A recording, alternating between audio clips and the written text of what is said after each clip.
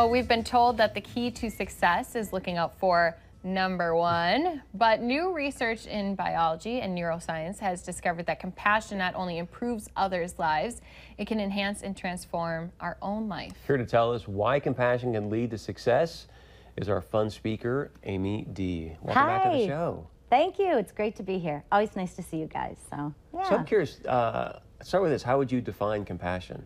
Well, compassion, I, I- I'll define it by um, talking first about um, when you have empathy.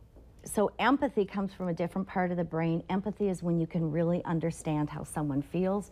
That comes from the part of our brain that experiences pain. So, it's unsustainable. Compassion comes from a place in our brain that um, where love and connection comes from. So it's very sustainable. The difference between empathy is that you feel it, but you're not going to do anything about it. Compassion needs action. That you feel someone's pain, but you also are um, you feel as though you want to do something to help eliminate their suffering. So that's the difference. It, it requires action. That was good. I think she nailed it right there. so how do we get more compassion in our life? Does it start with, you know, learning how to have more empathy for people and then it kind of develops? So compassion is something, I mean, first of all, I think it's really important to recognize the benefits. I think, you know, as you said in the beginning, we think number one is most important. We think if we have compassion, we have to choose maybe between kindness and success. And we don't. The truth is because compassion is sustainable, it, it actually multiplies and it it enhances your life so that when you give and are kind and compassionate to someone, your life becomes better as well. And compassion can be taught. Um, we start with compassion by having listening to understand each other. Really listening to, understanding that we may come from different areas, but we listen to understand, and that we also um, enact resources in order to figure out how to help each other.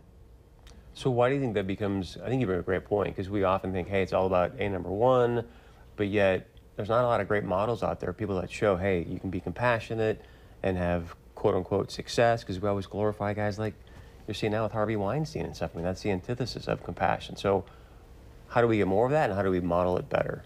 Um, I think we model it better to our children. I think we need to get out in our communities and act. I think we need to listen to each other even when we don't agree. I think that's really important. And I do think we have uh, we have a misperception of what the alpha male is. Um, the alpha male was alpha, the the term was created through studies of wolves, and the alpha male is actually someone who's very confident. That wolf is very confident, understands its power, doesn't have to show off, exudes confidence in um, from the, the the pack that follows it. Um, that doesn't sound like you know what we think of as the alpha male and i think we have to recognize that we can't survive without each other we do not act alone in this world there is nothing that we do that that is independent of each other. And so we have to come together. But I think it's always presented as, not always, but often presented as a zero-sum game. I win, yes. you lose. yes. Mm-hmm. And the truth is is that compassion builds self-esteem. Compassion helps you health-wise. It lowers blood pressure.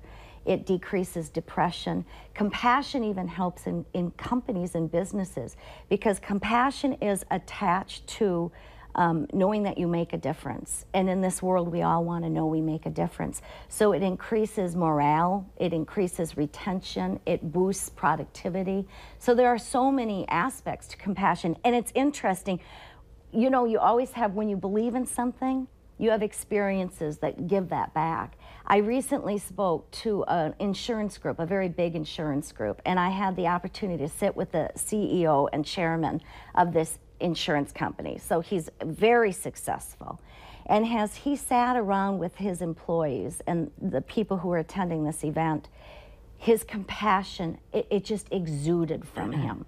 The people who talked about him talked about the kindness that he had offered to each other. He was such an example of people, they wanted to follow him because he was such a great person.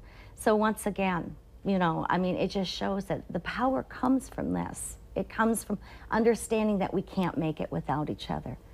and that we all have to step up our game a little bit, especially in today's world where there's a lot of bullying. So my question for you, and we've got to wrap things up, we can come back to this maybe, Yeah. but did he have a particular practice in place to He increase that believes in compassion, or- kindness, and it's interesting because we've exchanged um, emails since this, and he really believes that his practice and his his belief in this world is that he's here to be kind and to make a difference. He mm. believes that to the core of who he is.